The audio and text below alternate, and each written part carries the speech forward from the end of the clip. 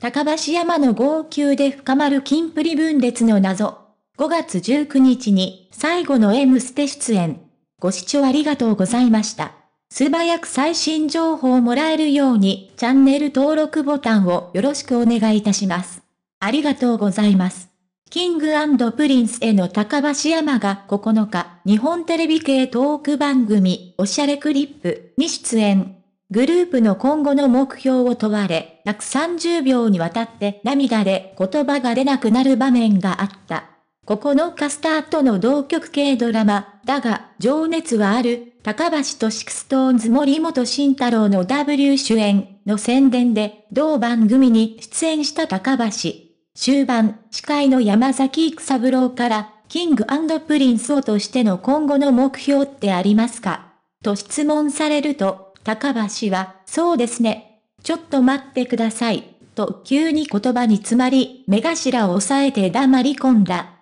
高橋はすすり泣きしながら手で涙を拭うなど、ガチ泣き状態になり、30秒以上振ってからようやく泣くと話せなくなるんですよね、俺。と切り出し、目を赤く晴らしながら、一人でも多くの応援してくれるファンに会うために、もっと大きいステージだったり、もっと回数多く皆さんと会えればいいなって思いますね、と語った。さらに、メンバーが何よりも僕は好きなので、みんなが幸せに暮らせたらいいなって、ずっと友達でいられたらいいなって思います。と、メンバーたちへの思いを告白した。キングプリンスは5月22日をもって平野紫耀、岸優太、神宮寺勇太の3人が脱退し、それぞれジャニーズ事務所も順次退場。以降は高橋と長瀬角の2人体制でグループを継続すると発表されている。当然、高橋の脳裏には脱退する仲間たちのことがあったはずで、込み上げてくる感情と涙をこらえきれなかったのだろう。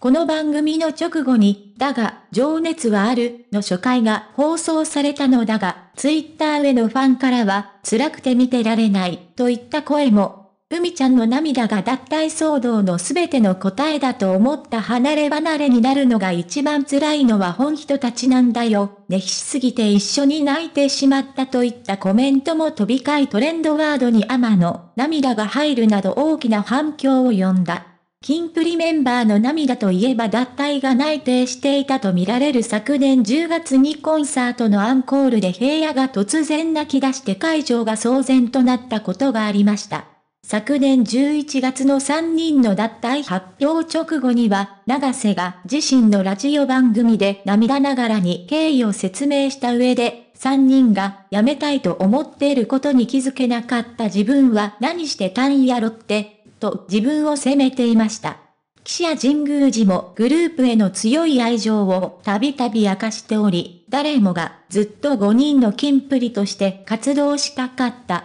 と思っているのに離れ離れになってしまうという現実がメンバーたちの涙に現れているのかもしれません。もし3人がわがままや自分勝手で辞めるなら、高橋が号泣したり、長瀬が自分を責めたりはしていないでしょうから、複雑な事情があることが伺えます。ジャニーズに詳しい芸能記者。7日に出演したミュージックステーションテレビ朝日系2時間スペシャルでは、そうしたメンバーたちの心中が表出したとみられる場面があった。キングプリンスの過去の出演シーンをまとめた VTR が流れた際、それを見つめるメンバーたちが悲しげで切なそうな表情をしていると話題になったのだ。高橋や神宮寺は明らかに表情を曇らせ、涙ぐんでいるようにも見えたほか、岸や平野が唇を噛み締めているように見えるシーンもあった。通常、過去の映像を振り返るときは照れたり、笑い合ったりといった反応が一般的だが、メンバーたちに笑顔はほとんどなかった。